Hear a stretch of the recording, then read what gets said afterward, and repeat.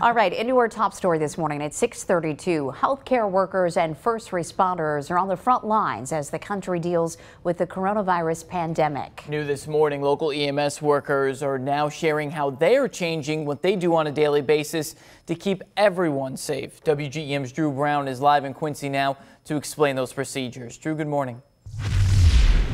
Hi, Don. Here at the Adams County EMS station, they say they have seen an increase of calls due to people calling reporting of flu-like symptoms, and they are taking extra precautions before they head out the door. We're told EMS workers they have been prepping since January, and they have ordered extra masks, gloves, and goggles. And their deputy chief, Jessica Free, says all vehicles have thermometers, and they are checking every patient for fevers and asking if they have traveled.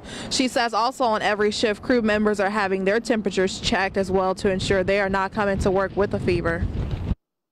Something that we've kind of modified right now to protect our patients and our crew members is that we may not have a family member ride in the ambulance as they had in the past with their with our family member. We just kind of want to keep everything as clean as possible and not have that extra potential to bring germs and the virus into the back of the ambulance.